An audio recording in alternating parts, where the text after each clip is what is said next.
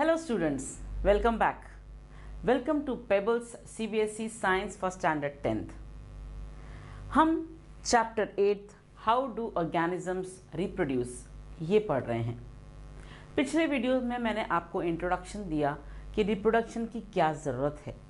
क्या वो इतना इंपॉर्टेंट सिस्टम है हमारी बॉडी में जिसके बिना हम रह नहीं सकते?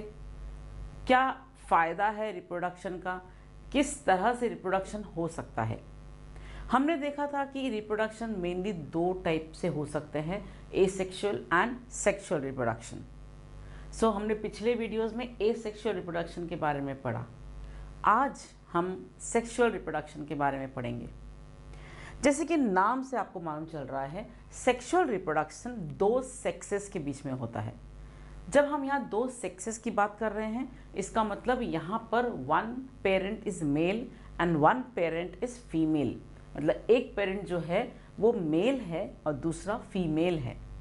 जब दो पेरेंट ऐसे डिफरेंट सेक्सेस के होंगे और उनका रिप्रोडक्शन होगा तब हम कहते हैं sexual reproduction sexual reproduction as the name suggest यहाँ पर दो पेरेंट इन्वॉल्व हैं और जैसे हमने पढ़ा था ए सेक्सुअल रिप्रोडक्शन में वहाँ पर सिर्फ़ एक पेरेंट इन्वॉल्व रहता है। सो so, जब दो पेरेंट इन्वॉल्व रहते हैं तो बेसिकली यहाँ पर रिप्रोडक्शन इस तरह से होता है कि वहाँ पर डीएनए कॉपिंग की जाती है। मैंने आपको बताया था इंट्रोडक्शन के टाइम पे कि डीएनए कॉपिंग का कितना इंपॉर्टेंस है। सो so, हमारी बॉडी में जैसे सेल्स में न्यूक्लियस है न्यूक्लियस में क्रोमोजोम्स हैं क्रोमोजोम्स में डीएनए है। सो so, जो डीएनए है ये कॉपी करता है। क्योंकि ये कॉपी नहीं करेगा तो नेक्स्ट जनरेशन को कैसे जाएँगे? सो so, जब ये कॉपी करते हैं तो उनमें थोड़े से वेरिएशंस आते हैं। और ये वेरिएशंस इन इन वेरिएशंस का बहुत इम्पोर्टेंस है क्योंकि इन वेरिएशंस के कारण हमें हम कैसे इवॉल्व हुए कैसे ऑर्गेनिजम्स इवोल्यूशन ले करते हैं इनकी जानकारी हमें मिलती है। वेरिएशंस होते हैं इसीलिए सर्वाइवल ऑफ़ द फिटेस्ट भी होता है। मतलब वेरिएशन हमको हेल्प करते हैं किसी सराउंडिंग के चेंजेस को अडेप्ट करने में। सो so, वेरिएशंस का बहुत इंपॉर्टेंस होता है। अब सेक्सुअल रिप्रोडक्शन की बात करें तो दो पेरेंट इन्वॉल्व हैं one male and one female इन दो पेरेंट के जब जर्म सेल्स आपस में मिक्स होते हैं, जब क्रॉस ओवर होते हैं, तब क्या होता है कि वहाँ क्रॉसिंग ओवर में उनके कैरेक्टरिस्टिक्स उनके नेक्स्ट जनरेशन को जाते हैं। तो क्या डीएनए कॉपी पूरी करके भेज दिए जाते हैं? नहीं। डीएनए कॉपिंग होती है। उनका एक पार्ट जैसे हमारे जर्म सेल से अगर हम बात करें हम जर्म सेल जर्म सेल की बात कर रहे हैं तो ये जर्म सेल क्या है? जर्म सेल्स वो सेल्स हैं जो स्पेशलाइज करते हैं रिप्रोडक्शन के लिए। सारे सेल्स रिप्रोड्यूस नहीं करते हैं। कॉम्प्लेक्स एनिमल्स में ह्यूमन बींग्स में सारे सेल्स रिप्रोड्यूस नहीं करते हैं।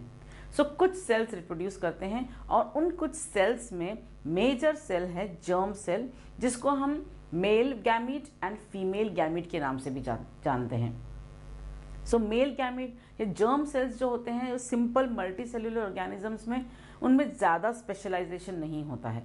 लेकिन जैसे जैसे ऑर्गेनिजम्स कॉम्प्लेक्स होते जाते हैं ये जर्म सेल्स में भी डिफरेंस आने लगता है। जर्म सेल्स जो बहुत ज़्यादा मोटाइल होते हैं जो बहुत मूवमेंट करते हैं उनको हम कहते हैं मेल गैमिट और जो जर्म सेल्स फ़ूड लेके जिसमें फ़ूड पार्टिकल रहता है या काफ़ी फ़ूड की मात्रा रहती है जो प्रोवाइड करता है सेल्स को फ़ूड उसको हम कहते हैं फीमेल गैमिट सो so, ये दो जो male gamete and female gamete together और जनरल टर्म्स में हम उनको जर्म सेल्स कह सकते हैं. सो so, ये जर्म सेल्स जो होते हैं इनके बदौलत जब ये क्रॉसओवर होते हैं तब हमारा एक नया ऑर्गेनिज्म का जन्म होता है. और इस क्रॉसिंग ओवर में हमारे हेरिडिटरी कैरेक्टर्स पास होते हैं थ्रू डीएनए कॉपिंग अब जो डीएनए है क्रोमोजोम्स हैं हम सबको मालूम है 23 पेयर्स ऑफ़ क्रोमोजोम्स होते हैं. So so, 23 pairs means total 46 chromosomes होने चाहिए. सो so, इन 46 में से 23 come from male and 23 come from female so number of chromosomes remain constant in generation to generation और ये बहुत ज़रूरी है कि नंबर कांस्टेंट रहे. नहीं तो आप देखेंगे कि अगर डीएनए कॉपी करके सारा का सारा डीएनए ऑर्गेनिज्म का चला गया, दूसरे जर्म जर्म सेल के द्वारा तो क्या होगा, हम सिर्फ़ हर जगह डीएनए डीएनए ही देखते रहेंगे। तो ये तो एक हाइपोथेटिकल सिचुएशन है, लेकिन ऐसा होता नहीं है। होता ये है कि 23 chromosomes from male and 23 chromosomes from female, they go in the next generation to form the 46 number of chromosomes so so, ये जो 46 नंबर ऑफ़ क्रोमोजोम्स हैं ये बच्चे को आते हैं। सो so, हमारा जो नंबर ऑफ़ क्रोमोजोम्स हैं डीएनए कांस्टेंट रहता है। हम जब सेक्सुअल रिप्रोडक्शन की बात कर रहे हैं तो यहाँ पर मेल एंड फीमेल गैमिट की बात हो रही है। अब प्लांट्स में मेल एंड फीमेल गैमिट्स अलग हैं एनिमल्स में अलग होते हैं। जब हम प्लांट्स की बात करेंगे तो फ्लावर जो होता है जो फूल होता है किसी भी प्लांट का वो होता है रिप्रोडक्टिव पार्ट चलिए देखते हैं sexual reproduction in flowering plants flowering plants कौन से होते हैं? एंजियोस्पर्म्स एंड जिम्नोस्पर्म्स हमने दो प्रकार के प्लांट्स पढ़े थे जो नाइन्थ स्टैंडर्ड में आपको पढ़ाए गए हैं। एंजियोस्पर्म्स वो होते हैं जिनको हम जनरली फ्लावरिंग प्लांट्स कहते हैं एंड जिम्नोस्पर्म्स वो होते हैं जिनमें फ्लावर्स नहीं दिखते हैं या नॉन फ्लावरिंग प्लांट्स कहते हैं। एंजियोस्पर्म्स में जो सीड होता है, उसके ऊपर फ्रूट होता है और जिम्नोस्पर्म्स में सीड नेकेड होता है। ये एक मेजर डिफरेंस है। तो आज हम पढ़ने जा रहे हैं sexual reproduction in flowering plants मतलब हम एंजियोस्पर्मिक प्लांट्स के बारे में बात कर रहे हैं। एंजियोस्पर्म प्लांट्स जो होते हैं, उनमें मेल एंड फीमेल अलग अलग प्लांट्स भी होते हैं, या एक ही पेड़ पे या एक ही फ्लावर पे मेल पार्ट भी होता है फीमेल पार्ट भी होता है। जब मेल पार्ट भी हो रहा है फीमेल पार्ट भी है तो हम उनको कहते हैं बायसेक्सुअल फ्लावर्स मतलब एक ही फ्लावर में दोनों सेक्सेस दोनों जेंडर या आप कह सकते हो male part and female part stamen and carpel दोनों प्रेजेंट है तो हम उनको कहेंगे बायसेक्सुअल फ्लावर और अगर ऐसा फ्लावर जैसे आप कह सकते हैं कुकुम्बर या बनाना यहाँ पर इधर मेल प्ला, मेल प्लांट होगा या फीमेल प्लांट होगा. या तो मेल गैमिट होगा उसके पास या फीमेल गैमिट होगा. तब हम उनको कहते हैं यूनिसेक्सुअल फ्लावर्स ऐसे दो प्रकार के फ्लावर्स होते हैं बायसेक्सुअल एंड यूनिसेक्सुअल सो आज हम जो पढ़ने जा रहे हैं, वो बायसेक्सुअल फ्लावर के बारे में बताएँगे, जो एक सिंपल एक हिबिस्कस प्लांट ले लीजिए, जिसको हम शू फ्लावर भी कहते हैं। शू फ्लावर या हिबिस्कस प्लांट आप रेड कलर में येलो कलर में वाइट कलर में, ऐसे अलग कलर्स में देखेंगे आप। अगर हम कहते हैं कि एक हमने फ्लावर लिया जो हिबिस्कस प्लांट का है, या हिबिस्कस फ्लावर लिया, और उसको लॉन्गिट्यूडनल सेक्शन में काटा मतलब ऐसे लंबाई में काटा तो आपको अंदर कैसा दिखेगा? So this is the longitudinal section of a flower अब लॉन्गिट्यूडनल सेक्शन में आप देखेंगे आप जो देखते हैं फूल जो हम जनरली फ्लावर्स देखते हैं फूल देखते हैं उसमें पेटल्स जो होते हैं वो कलरफुल होते हैं। सो so, कलरफुल जो थिंग होते हैं वो पेटल्स होते हैं। नीचे को जो दंडल होता है जन दंडल बोलते हैं हिंदी में हरे रंग का होता है ग्रीन कलर का होता है उसको हम कहते हैं सेपल्स जो फ्लावर को प्रोटेक्ट कर रहे हैं।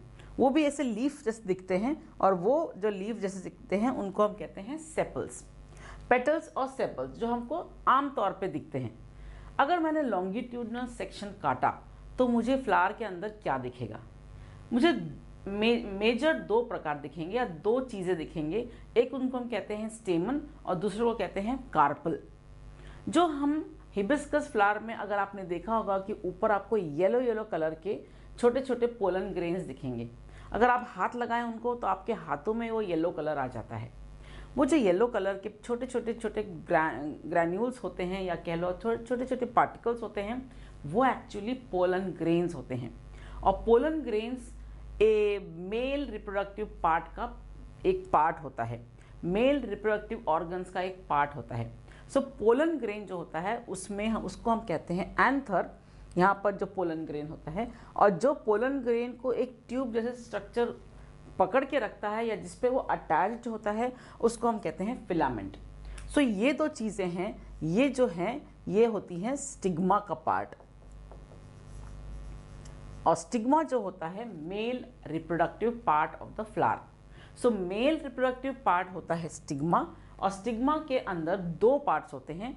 वो होते हैं एंथर और फिलामेंट जो हम येलो पार्ट देखते हैं वो होता उसको हम कहते हैं एंथर उसके ऊपर येलो कलर लगा रहता है इसलिए उस जनरल कॉमन नेम है पोलन ग्रेन्स ये pollen grains is nothing but it contains anther और एंथर से एंथर किससे अटैच रहता है? ऐसे पतली सी ट्यूब से अटैच रहता है इसको हम कहते हैं फिलामेंट सो so, ये हुआ स्टेमन का पार्ट सो हर फ्लावरिंग प्लांट में दो मेजर पार्ट होते हैं, जो मेल पार्ट होता है और फीमेल पार्ट होता है। मेल पार्ट हम जनरल पूरे मेल पार्ट को हम कहते हैं स्टेमन और फीमेल पार्ट को हम जनरली कहते हैं कार्पल तो स्टेमल एंड कार्पल ऐसे दो प्रकार होते हैं। तो ये जो स्टेमन होता है, वो बनता है दो पार्ट से एंथर और फिलामेंट सो so, ये जो एंथर और फिलामेंट है, इसको हम कहते हैं स्टेमन तो स्टेमन जो होता है they it is the reproductive part of the flower so reproductive part male reproductive part कौन सा है? ऐसा अगर आपको क्वेश्चन आया तो आप कहेंगे it is stamen which consist of anther और उससे जो अटैच होता है वो है फिलामेंट सो so, जो येलो पार्ट हमें दिखता है वो एक्चुअली होता है पोलन ग्रेन और पोलन ग्रेन के अंदर हमें एंथर दिखता है और anther is connected to the filament so ये दोनों चीज़ें किस हम दोनों चीज़ों को कॉमनली क्या कहते हैं? स्टेमन कहते हैं। और stamen is the male reproductive part ठीक है? तो मेल रिप्रोडक्टिव पार्ट जो होते हैं, वो ऐसे साइड से आपको दिखेंगे जो बाहर आते हैं, फूलों के बाहर, और उस पर पोलन ग्रेन लगा रहता है। आप एक और चीज़ नोटिस करेंगे, जब आप हाइबस्कस फ्लावर देखेंगे तो यहाँ पर एक रेड कलर का आपको रेड कलर का ऐसे स्टिग्मा दिखेगा जिसको हम कहते हैं स्टिग्मा तो ये जो स्टिग्मा होता है ये अटैच होता है एक ट्यूब से जिसको हम कहते हैं स्टाइल और ये ट्यूब एक बैग लाइक स्ट्रक्चर में ओपन होती है जिसको सोलन पार्ट होता है जिसको हम कहते हैं ovary so stigma style and ovary इन सबको मिलाकर हम कहते हैं पिस्टल या कार्पल सो so, ये जो कार्पल होता है it is a female reproductive part so अगर मैं कहूँ कि ये स्टिग्मा स्टाइल और ओवरी ये जो होते हैं, ये होते हैं फीमेल रिप्रोडक्टिव पार्ट और ये कहलाता है कार्पल ठीक है, एक और नाम इसको दिया गया है, उसको कहते हैं pistil so carpel and stamen actually दोनों male and female reproductive part हैं जो इस फ्लावर में प्रेजेंट रहते हैं। तो ये है स्ट्रक्चर ये है पेटल्स ग्रीन कलर के हैं सेपल्स ये जो आपको येलो कलर के, आपको एक्चुअल फूल में येलो कलर के दिखेंगे, जो मैंने आपको डिटेल में, आपको ब्लू में दिखाया है, जिससे आप अलग से समझ सकें.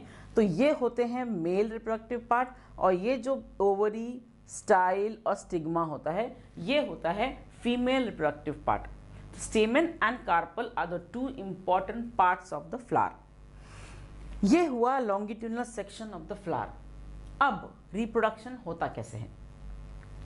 ये जो पोलन ग्रेन है, अगर ये पोलन ग्रेन इसी फ्लावर में, इस कार्पल पे जाके अटैच हो जाएँ, ठीक है? इस पोलन ग्रेन में क्या है? एंथर है। एंथर में क्या है? इसमें मेल गैमीट है। मेल जर्म सेल है। तो मेल जर्म सेल को फीमेल जर्म सेल तक पहुँचना है। तभी तो सेक्सुअल रिप्रोडक्शन होगा। सो so, क्या होगा? अगर इसी फ्लावर में ये एंथर या ये पोलन ग्रेन कार्पल पे जाके गिरता है और वहाँ से मेल गैमिट अंदर जाएगा तो एक ही फ्लावर में अगर फीमेल गैमिट और मेल गैमिट का मिलन हो रहा है या कह सकते हैं अगर पोलन ग्रेन एक ही फ्लावर के पोलन ग्रेन उसी कार्पल पे बैठ रहे हैं और वहाँ से पोलन ट्यूब बन रही है और मेल गैमिट जा रहे हैं इसको हम कह लेंगे सेल्फ पॉलिनेशन जो self pollination and cross pollination pollination means when pollen grains fall on the stigma so when pollen grains fall on the stigma of the same flower एक ही फ्लावर के ऊपर जब स्टिग्मा पे पोलन ग्रेन आ, आ जाता है उसको हम कहते हैं सेल्फ पॉलिनेशन और अगर due to air due to wind due to water due to insects या animals air water insects animals इनकी वजह से अगर पोलन ग्रेन्स यहाँ से टूट के दूसरे कोई फ्लावर पे कार्पल पे बैठते हैं और वहाँ पॉलिनेशन करेंगे तो उनको कहेंगे cross pollination so self pollination and cross pollination so ये आप याद रखना है कि यहाँ पॉलिनेशन तो हो रहा है, या तो उसी फ्लावर पे हो रहा है या दूसरे फ्लावर पे हो रहा है उसी स्पीशीज के। ये नहीं होता है कि यहाँ का जो एंथर है यहाँ का जो पोलन ग्रेन है यह हिबिस्कस को छोड़ के रोज प्लांट को पॉलिनेट कर रहा है। ऐसा हो ही नहीं सकता। एक ही स्पीशीज के प्लांट को वो पॉलिनेट कर सकता है। सो so, अगर एक ही फ्लावर में हो रहा है तो सेल्फ पॉलिनेशन अगर दूसरे प्लांट के फ्लावर में हो रहा है तो क्रॉस पॉलिनेशन ठीक है? अब यहाँ पॉलिनेशन में क्या हो रहा है मैं आपको इस डायग्राम से बताती हूँ। ये पोलन ग्रेन स्टिग्मा पे आके चिपक गया। ठीक है? अब ये पोलन ग्रेन के अंदर मेल गैमिट है। ये मेल गैमिट है या हम कह सकते हैं मेल जर्म सेल है। इस मेल जर्म सेल को ओवरी तक पहुँचना है। ठीक है? तो यहाँ पर वो पोलन ग्रेन बैठा। धीरे धीरे पोलन ग्रेन से एक ट्यूब बननी शुरू होती है, जिसको हम कहते हैं पोलन ट्यूब ये पोलन ट्यूब बनती है जब ये पोलन ग्रेन स्टिग्मा पे जाके चिपक के बैठ जाता है। तो वहाँ से एक पोलन ट्यूब बनेगी और वो पोलन ट्यूब ऐसे साइड से निकल के स्टाइल है। ये स्टिग्मा ये स्टाइल और ये ओवरी। सो so, स्टाइल के कोनों से वो बनती जाएगी बनती जाएगी और ऐसे बनते बनते बनते वो ओवरी तक पहुंचेगी। ओवरी तक पहुँचने के बाद ओवरी को पियर्स करेगी अंदर और वहाँ मेल गैमीट अंदर जाएँगे। इस ओवरी में ओव्यूल्स प्रेजेंट हैं, जो फीमेल पार्ट होते हैं फीमेल जर्म सेल्स होते हैं। उस आप, मैंने आपको छोटे छोटे ये ओव्यूल्स बना के दिखाए हैं और दो काले ओव्यूल्स बना के दिखाए हैं। तो जब पॉलिनेशन हो रहा है तो यहाँ से मेल सेल आएगा which will travel like this ऐसे ट्रैवल करेगा और यहाँ मेल सेल आके फ्यूज़ हो जाएगा। किससे फ्यूज़ होगा? ओव्यूल्स से फ्यूज़ होगा। और जब ये फ्यूज़ होगा, वो बनाएगा zygote Z Y G O T E ये जाइगॉट बनाएगा। अब जब ये जाइगॉट बनाएगा the cells will start multiplying the cells multiply होते जाएँगे और ये जो ओव्यूल पार्ट है, वो बनते हैं सीड और जो ओवरी पार्ट है, वो बनता है फ्रूट आगे जाके सीड जो होता है, वो किससे बना है? ओव्यूल से बना है। और सीड के अंदर एम्ब्रियो है। अब एम्ब्रियो क्या होता है? जस्ट छोटा सा फ्लावरिंग प्लांट अब यहाँ पर तो हो गया ना male and female germ cells crossover हो गए हैं। Yes so it has fuse together fusion हो चुका है। फ्यूजन होने के बाद वो जाइगॉट बना रहा है। जाइगॉट बनाने के बाद वो एम्ब्रियो बनाएगा। अब ये जो ओव्यूल्स थे, वो बने हैं सीड्स और जो पूरा ओवरी का भाग है, वो बनेगा फ्रूट जब सीड्स ऊपर सीड्स बन जाएँगे, उसके ऊपर वो फ्रूट कवर हो जाएगा और ये फ्रूट बन जाएगा बाकी के पेटल्स और सेपल्स पूरे सूख के गिर जाएँगे। अब ये सीड्स जैसे हम लोग कुछ भी फल खाते हैं तो आप जब सीड्स खाते हो जैसे आप, आपने एप्पल खाया एप्पल का अंदर जो सीड है वो आपने सीड फेंक दिया तो सीड में एम्ब्रियो ऑलरेडी बना हुआ है। जब उसको फेवरेबल कंडीशंस मिलेंगे तो उस उसमें से एक फ्लावरिंग प्लांट बाहर निकलेगा और फिर एक नया प्लांट बनना शुरू हो जाएगा। So this is how the sexual reproduction in flowering plant take place बहुत ईजी है। इस फ्लावरिंग प्लांट में male and female parts present रहते हैं। मोस्टली ये बाइसेक्शुअल फ्लावर्स ही हमें मिलते हैं या दिखते हैं। यूनिसेक्शुअल फ्लावर्स कम दिखते हैं। जैसे हमें मैंने आपको एग्जांपल दिया बनाना का उसमें यूनिसेक्सुअल प्लांट्स हो सकता है। सो so, ये जो आपको पार्ट्स पढ़ने हैं ये आपको छोटे क्लासेस में हम पढ़ा चुके हैं। जनरली सेवेंथ या एट्थ के एन बुक्स में आपको सारा कवर्ड है। आप वो भी रेफ़र कर सकते हैं और ज़्यादा अच्छे समझने के लिए। सो so, ये जो पार्ट मैंने दिखाया वो germination of pollen on stigma था। जर्मिनेशन जो वर्ड है ये जर्मिनेशन ऐसा होता है कि जब ये सीड है मैंने क्या जब कहा सीड तो seed if it gets favourable condition it starts to germinate अगर उस सीड को अच्छे कंडीशंस मिल जाते हैं तो वो नया फ्लावर बनाना, नया प्लांट बनाना शुरू कर देता है। उस प्रक्रिया को हम कहते हैं जर्मिनेशन सो जर्मिनेशन पॉसिबल कैसे है? जब पोलन ग्रेन्स यहाँ बैठेंगे स्टिग्मा पे, वहाँ से पोलन ट्यूब बनेगी, और ये जो मेल सेल है, वो ऐसे ट्रैवल होगा। मेल सेल अंदर ट्रैवल होगा तो वो फीमेल सेल से फीमेल जर्म सेल से फ्यूज़ हो जाएगा। व्हेन ये फ्यूज़ हो जाएगा तो उसका एम्ब्रियो बन जाएगा और ये जो ओव्यूल पार्ट है वो बनेगा सीड और जो ओवरी पार्ट है वो बनेगा फ्रूट सो so, इस तरह से सेक्शुअल रिप्रोडक्शन फ्लावरिंग प्लांट्स में होता है. So this was the sexual reproduction which we studied in flowers so in in this video we try to cover कि कैसे दो सेक्सेस यहाँ पर भी हमें मेल सेल और फीमेल सेल की ज़रूरत पड़ी. जो male germ cell and female germ cell यहाँ पर मेल सेल जो था, वो एंथर एंड एंथर में था और एंथर वाज हेल्ड और हेल्ड बाय फिलामेंट और उस दोनों को मिला के हम कहते हैं स्टेमन और जो फीमेल पार्ट था, उसमें मेन पार्ट है स्टिग्मा फिर स्टाइल फिर ओवरी और इन सबको मिला के हम कहते हैं कार्पल और बुक्स में आप देखेंगे, उसको हम पिस्टल भी कहते हैं. सो पिस्टल या carpel is the female reproductive part which is generally present in the centre of the flower ये सेंटर ऑफ़ द फ्लावर में प्रेजेंट रहते हैं और जो पोलन ग्रेन्स होते हैं, वो साइड से ऐसे बाहर बाहर की तरफ़ निकलते हैं। So this was about the sexual reproduction in flowers अगले वीडियो में हम पढ़ेंगे सेक्शुअल रिप्रोडक्शन इन ह्यूमंस आज के लेसन में आपको कोई भी डाउट है, कोई भी क्वेरी है क्वेश्चन है, आप ज़रूर कमेंट बॉक्स में लिखिए। मैं उसका जवाब ज़रूर दूँगी। Keep watching bye for now